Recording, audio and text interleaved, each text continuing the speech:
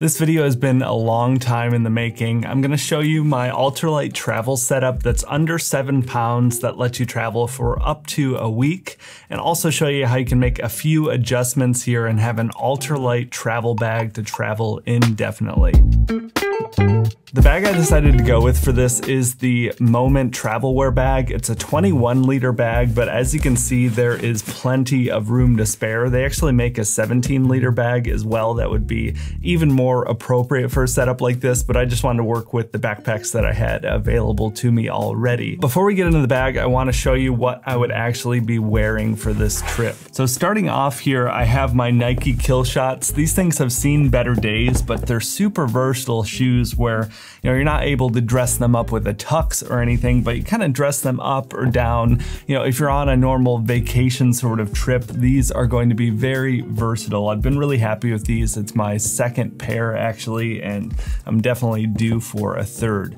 But I've been working more on getting into more technical travel fabrics, and um, one of the first pieces I ever got were the Outlier Slim Dungarees. They tout these as the only travel pant you'll ever need, and these are absolutely living up to the name. I've had them for I think like two years now, maybe even a little bit longer at this point, but they're pants that you're able to wear over and over again. They are stain resistant, they're water resistant, they're quick drying, they're lightweight, they're warm, but also cool when you need them to be. I've been so incredibly happy with these. I've even taken them out hiking and backpacking before. So these will be the only pants I bring on this trip. I know people think I'm a little bit crazy, single pair of pants, but um, I don't know about you, but even in normal life, I don't wash, you know, my denim and stuff after every single time. I'm usually wearing it for quite a few times before it hits the washing machine. It's a lot better for your clothes and it's a lot better and less wasteful for the environment. But these are specifically designed to be able to do that to prevent odors and stains and everything. So, you know, a week long travel, these would be perfectly fine. You know, if you're setting up an indefinite travel setup, maybe pick up a second pair, but these will be the only pants for the trip with the exception of some sleep shorts that we'll get into later. To pair with these pants, I have an Outlier Merino t-shirt. Been getting super into merino fabrics lately too. They are great. You know, they prevent odors. You can wear them multiple times. They are still warm and cool depending on your environment. So they really are tailored for a pretty broad range of travel. I've been really happy with the Outlier ones. You know, nice, thick, good quality. I know there's been some quality concerns with wool t-shirts and underwear and things with some other brands, but the Outlier ones seem to be the best of the best. And um, in my experience, that's definitely true. And looking around, you know, in the one bag communities around the internet, they seem to agree. So this would be my travel setup paired with a pair of merino socks and merino underwear. We're going all merino for this because you're able to rewear as much as possible. So that is the setup there for what I would be wearing. Uh, getting into the bag here though, I'm just going to unload everything out on the table, be easier to explain. Thank you. So what we're looking at here is the core of everything I would need on a seven day trip. Uh, starting from over here, this is a new pickup of mine I am so excited about. I don't know if anyone has heard me on the channel over the past few months talking about wanting slightly smaller capacity and lighter weight alternative to my Hydro Flask. And I was browsing around and saw that they just released the new Trail Lightweight series. It's about 10 ounces, way lighter than the old Hydro Flask series and still has the good insulating properties. Um, love the look of it too. I could do without this little red strip, but um, I do really like this color. Moving into clothes here, so outside of the things that I'm going to be wearing, essentially I'm going to be bringing three shirts, two pairs of socks, two pairs of underwear, and one pair of sleep shorts. And again, I want to stress this is just kind of a core template for, um, you know, if you wanted to travel as light as absolutely possible. But this is something, you know, I would add to in uh, depending on the situation. So preface with that. Uh, so the shirts, I have one just, you know, simple Banana Republic button up shirt, you know, if you want to uh, go to a little bit of a nicer dinner. And then uh, from there, I have one more of the Merino Outlier tees. The Merino t-shirts you can easily get three or four wears out of, but um, just to have a little bit of variety and I wanted to have another shirt to sleep in and um, exercise in if the situation arose. And this is just a cheap cotton t-shirt from Target, I believe. And then from there, I have um, just some gym shorts to use for sleeping. You know, if you are so inclined, you could also use these for exercise as well. And, um, you know, another alternative to the shorts, you know, depending on the climate or depending on your sleeping preferences, you could swap these out for some lighter weight active wear pants, you know, and that way if you wanted to wash your other pants, you have a pants alternative to put on while you are laundering. I've been on the hunt and doing a ton of research on merino underwear. I had finally settled on the Smartwool 150 boxer briefs. Um, these have been really good. From what I hear out there, they're going to be some of the best options if you want durability.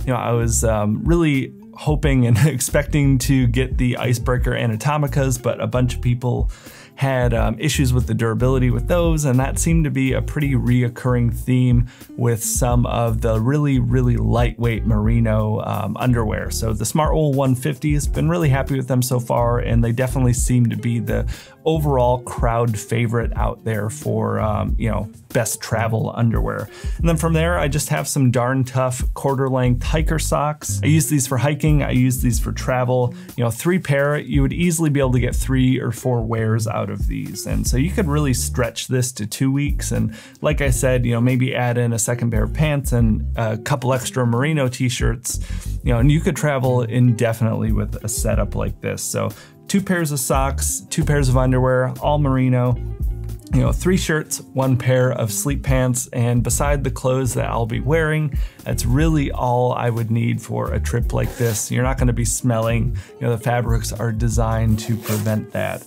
So that's all the clothes. I have this in um, just the larger size packed packing cube. I've been racking my brain for a long time for an all solids toiletry kit so I don't have to do the clear bags and deal with all the TSA concerns if you're a US traveler. I know it's gonna be a little bit different depending on where you are. This is the Moment Travel Wear. It's their smaller like mini tech bag, but I ended up using it for toiletries and I think it works really, really well. Um, so showing you what I've got in here for toothbrush. Everyone thought I was completely insane brushing my teeth with the, the unscented Dr. Bronner's. Um, so I was looking in some other options that might be a bit more appealing for me and all of you. Um, and I found toothpaste tabs. You know, you bite these down, kind of crunch them up, and it turns into toothpaste in your mouth. The toothpaste tabs I came out came in a lot larger of a quantity of this, but this was just some random tube packaging that would have otherwise been thrown in the trash. I uh, repurposed to hold, you know, you can, I think it's probably like 14 or 15 of them in here. Then I have my folding Muji toothbrush brush here. Love this thing. Just the folding nature of it makes it so much easier to travel with. Um, so that is my tooth setup, you know, no liquids. Also have a beard comb. Um, you know, you can use this as a hair comb too. And maybe if you don't have a beard, you can swap this out for some shaving gear or something. But I'd really just need that comb and I'm good for, you know, a couple of weeks and uh, might want to bring a trimmer if it is that indefinite travel like we talked about. And then I just have a little travel deodorant. Um, I've had no luck with the natural deodorants and like the crystal deodorants and all of the like regular deodorant alternatives. I've never really had good luck with, so I still just have my little um, travel size of my degree deodorant. Um, pretty cheap. It works better than most everything else for me though. So let me know if you have any ideas. If someone else has struggled with all of those natural deodorants and found one that finally worked, please let me know. For uh, face wash, beard wash, and um, shampoo and body wash, I have this really neat little setup here. I'll, uh, I'll show what's inside first and then talk about this bag. So I finally broke down and got some of the Beardbrand utility bars. Been really happy with them. Uh, this one is actually a half size. I cut it down lengthways so it would fit in the pack a little bit better.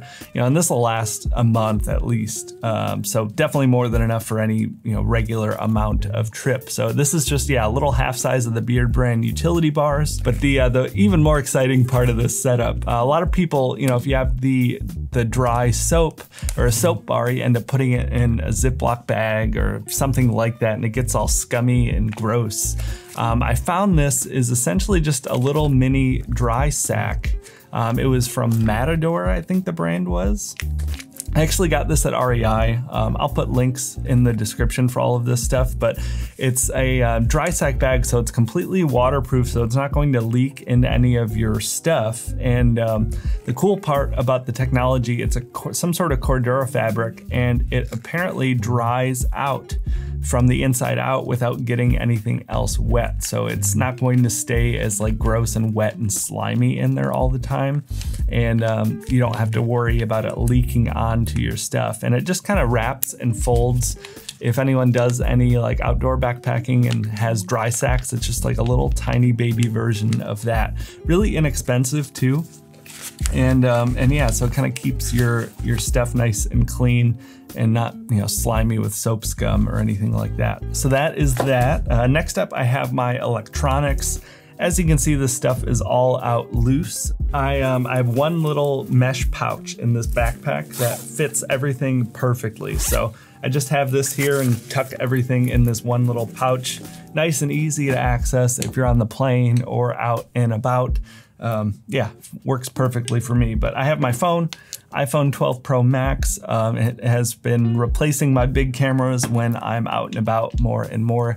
Cameras are amazing. Uh, battery life's amazing on this thing too. And then I have my AirPods. And uh, next up from there, I have this little stand for your phone. Um, I really like to use the tray tables and stand up my phone when I'm watching TV shows or something on the plane.